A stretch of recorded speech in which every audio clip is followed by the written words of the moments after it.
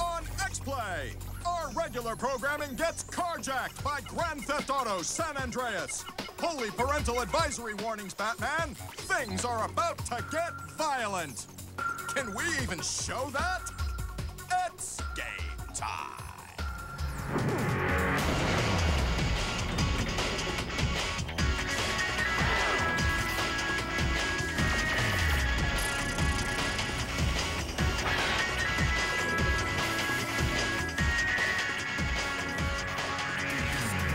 Warning! This program is not suitable for children, pregnant women, or Adam Sessler and Morgan Webb.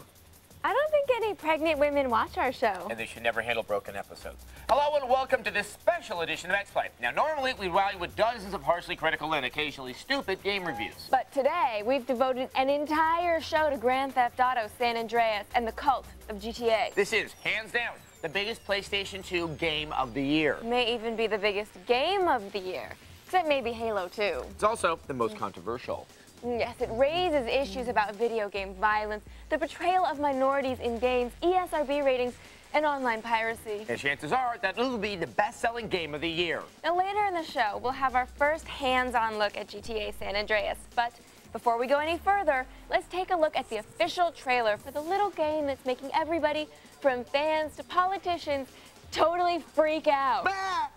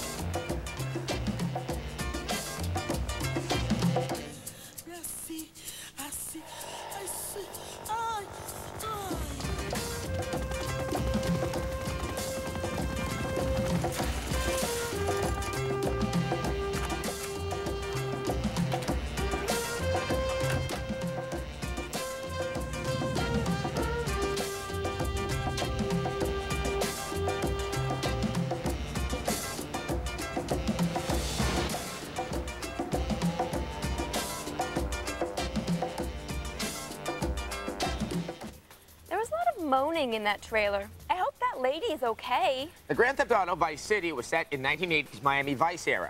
San Andreas is set in the West Coast gangsta scene of the 90s. And once again, fans of the series will be rewarded with another GTA soundtrack culled from the hits of that era. Songs like Welcome to the Jungle, Nothing But a G Thing, White Wedding, and Freebird. Yes? Freebird.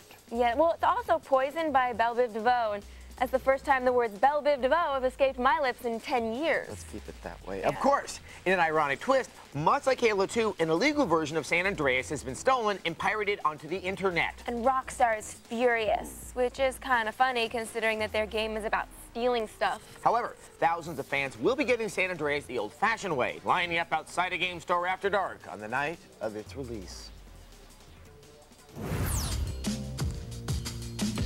So we're here at EB Games at Universal City, and we're about to see one of the launches of one of the biggest games of 2004, perhaps ever. It's, oh, wrong start. What's the first thing you're gonna do when you pop this game in and you can actually start playing it? Um, I'm actually gonna try starting missions. You're actually gonna try starting missions. You're not gonna just go beat up a hooker or something? No. exploring. You're, you're gonna explore? Are you looking for treasure? Kick the crap out of people, yeah. Okay, now we're yeah, okay. Now we're talking with some honesty. You've been playing Grand Theft Auto for a long time, right? I've never played it in my life. I'm excited. You're just so excited you've gotten like you're quiet with excitement. Do you feel like you're part of an elite clique of consumers? Yeah, it's really it's good to be here.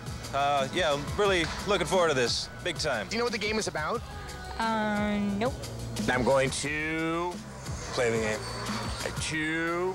To um, I'm gonna give you a clue. It's called Grand Theft Auto. Okay. What do you think it's about? Stealing?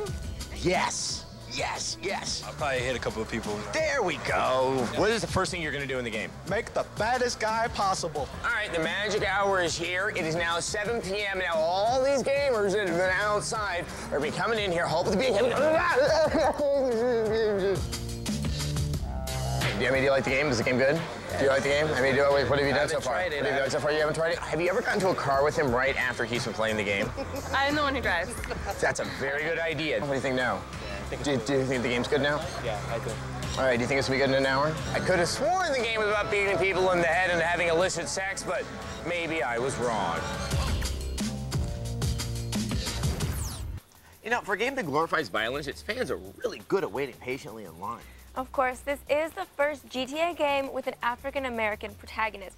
And since the game is basically about stealing cars, breaking into houses, and, you know, killing people, some community leaders are understandably upset. But is this more of an industry-wide problem? Well, for starters, the only recent black protagonists of note were the convicted murderer in The Suffering, the violent wrestling rappers of the Def Jam series, and the cops who shoot everyone in Bad Boys Miami Takedown. Well, you can also play as Snoop Dogg in True Crime Streets of LA. Of course, in that game, he mostly steals cars and shoots people. Well, that's why, in the name of fairness, and to show that there isn't some sort of weird industry bias, we chose some of the gaming industry's more favorable minority characters. And now, positive African American role models in video games. There's the guy from Half-Life. Please, leave me alone. And, um, there's... No, um... Oh, there... Mm. This was positive African American role models in video games. Up next, more Grand Theft Auto San Andreas. Why? Because we can! Warning contains explicit content and Adam Sessler and Morgan Webb. Welcome back to this all GTA episode of X Play. That's right, today we're devoting an entire show to one of the biggest video game releases of the year, Grand Theft Auto San Andreas. It's violent, expletive laden, and you can kill hoes in it. So, of course, everyone wants to buy it. Including gamers who are underage. Now, what should you do if you're 14 and you want to steal cars virtually? Seek help and watch this instructional video.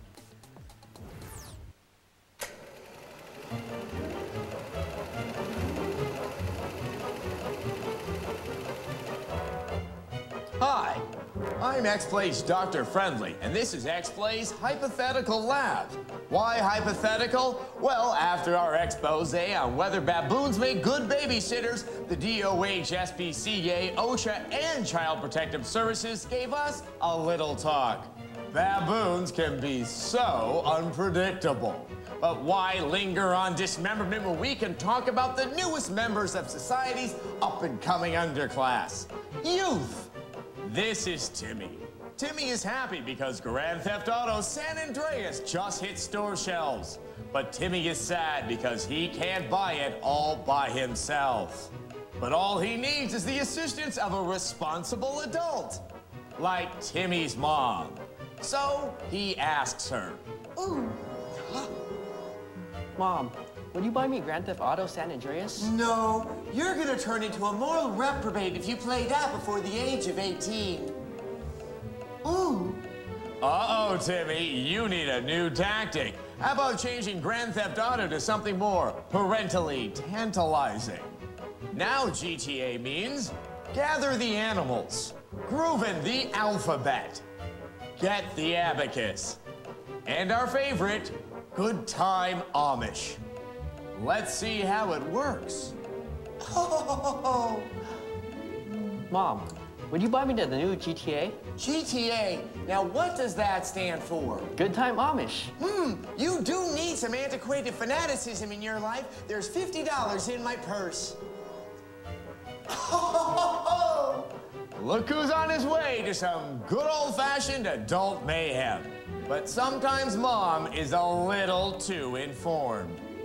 Here it says is that all you do is kill Haitian hookers with baseball bats while flying planes into buildings. So now you have to go it alone into your own local den of iniquity, the game store. GTA, please? Hell no, young man. You have to be exactly 18 years of age or older to handle this cultural plutonium. Uh-oh, Timmy.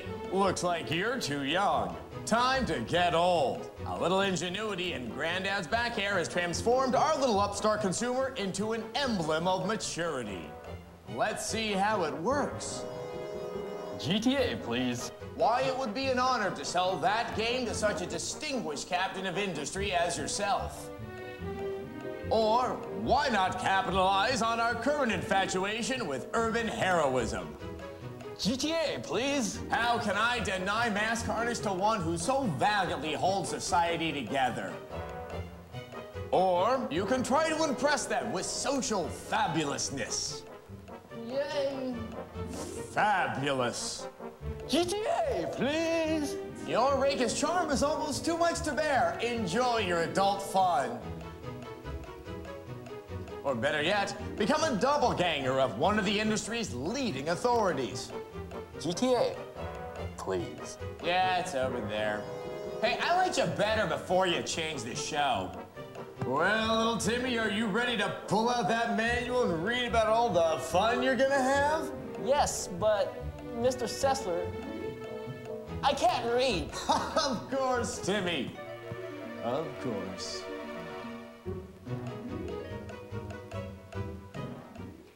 Know, as a woman, you make Tootsie look like Anna Kournikova. What did you, did you rob a wig shop? No, Ren, Rob. It's all the same in the morally questionable universe of Grand Theft Auto. Which is why you should stick around because later we have our hands-on first look at Grand Theft Auto San Andreas. Or golly, that's American for the moms out there.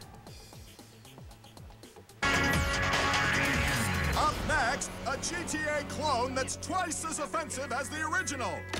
Really?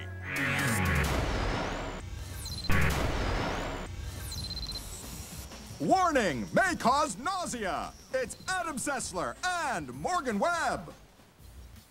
Welcome back to this all GTA X-Play. Later in the show, we have our hands-on first look at GTA San Andreas. But first, let's talk about the impact Grand Theft Auto has had on the industry. Its success has spawned dozens of clones and imitators. Games like Driver 3, True Crime Streets of LA, and even Simpsons Hit and Run, Spider-Man 2, and Tony Hawk's Underground 2. They've all adopted the Grand Theft Auto freeform approach. But none of them have ripped off the GTA style quite as much as Midway's Roadkill. And does it hold a candle to GTA? Find out in our re-review of Roadkill. Oh, so much for an easy fight. What do you do when you have a game that doesn't do anything new and you want it to stand out from the other games that don't do anything original? A. Do something original. Go for the bumper car. Yeah, right. B. Slather it with profanity and violence. Tell me the name. Guess what? The makers of Roadkill chose B. I know, crazy, isn't it? So, as an amateur sociologist, I decided to find out if I was cooler if I used potty talk. Hey there, you big What? What the hell did you just call me? Hey there, you dog. Are my two favorite doing? Head. Plug. What the Right after your ears stop bleeding, you'll notice that Roadkill is about driving around and killing people with your automotive death machine. Kind of like Twisted Metal. But it takes place in expansive cities and is mission-based, all the while using a very familiar mini-map and font scheme. Yep, you got the 10 cent question. It's Grand Theft Auto 3. Catch is, those games are great. Roadkill isn't. Just keep firing. It's just a ripoff that produces a functional game and nothing more. What's the story, you say?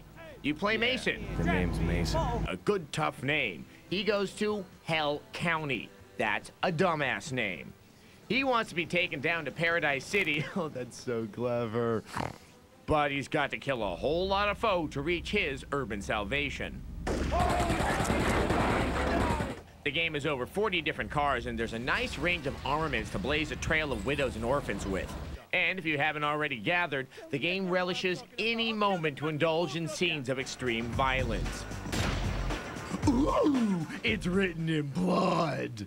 It uses the profanity with the dexterity of a seven-year-old. What does he think I am? F***ing Mother Teresa of f***ing Boy Scouts? And loves talk radio programs hosted by crude stereotypes. We just love weddings, free booze, lots of hot drunk guys in tuxedos. But you know what? I've gone down this road before, and it's as if the developers think that with enough profanity and sadism, I'll never notice that the game is uninspired and dull because I'll be so thrilled that it's obscene and crass. Well, you know, some people might go for it. Duh. All right, Here we go. In copying Twisted Metal, Roadkill does a pretty good job, but it's nowhere close to the fun of Grand Theft Auto. But if you're over 18 and have the sophistication of an 8-year-old, this might go well with your beer-splatted tank top. A 2 out of 5. Adam, can I talk to you? Yeah, you can talk to me.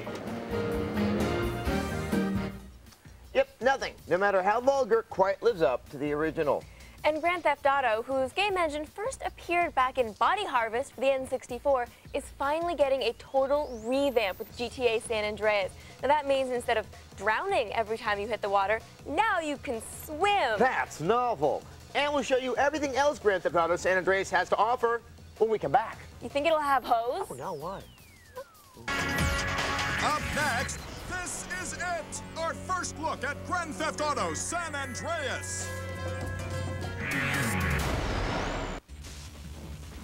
Once again, two people who love carjacking, Adam Sessler and Morgan Webb.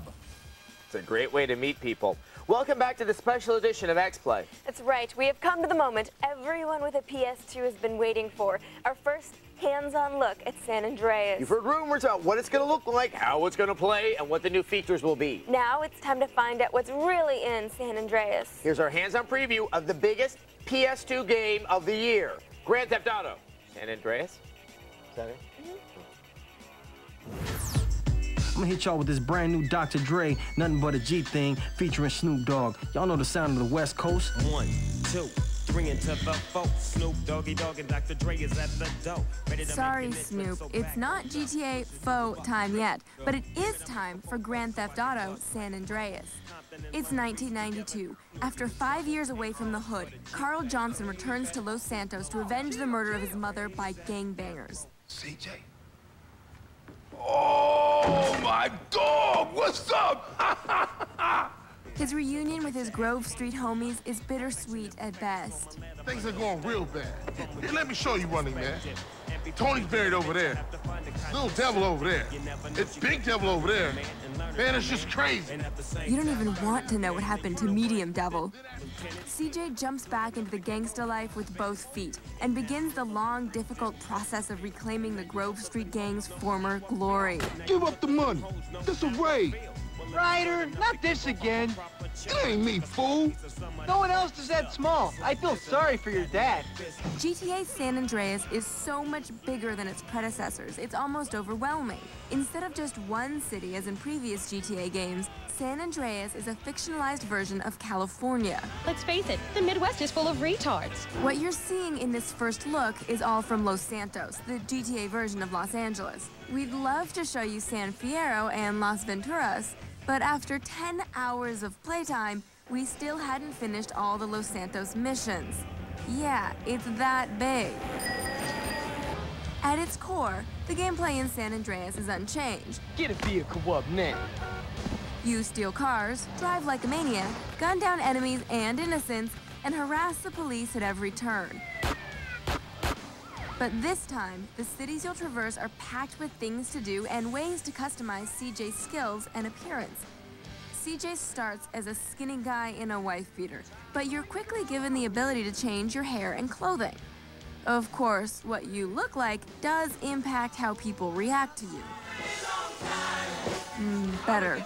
And your friends will pull no punches when it comes to your looks. You jacked up. Man, what's this? Look ridiculous. You now have to eat once in a while to keep your strength up, and a wise gangster wannabe will hit the gym regularly to build muscle and stamina. You can get tattoos, mod your car, participate in lowrider competitions, and even break into houses to steal valuables for cash. Gee, gee, I got it ninja style. Right. Come out, you old bastard! Shut up! And your mind will definitely be on your money much of the time. Missions don't automatically give you cash anymore. Often, you'll slowly earn respect as you complete more tasks. You couldn't pay me enough to get in that piece of Very slowly. Come on in, homeboy, hit CJ has an expanded repertoire of punches, and the newly tweaked targeting system makes firefights far less frustrating.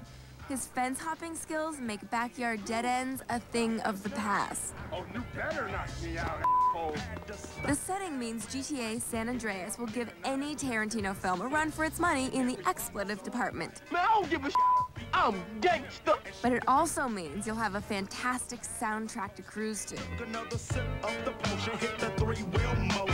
You'll also notice a boost in graphics, and the acting is better than ever. Look at you. You dress like a hooker. Oh, and I guess you two would know what a hooker look like, huh? You say it like it's a bad thing. Shut, up, Carl. And we can't forget everyone's favorite GTA pastime, eavesdropping on pedestrians. The liverwurst was green, but I ate it anyway. Did somebody just say milkshake? I smoke because it gives me knowledge. I wanna watch you rock. Welcome to the jungle.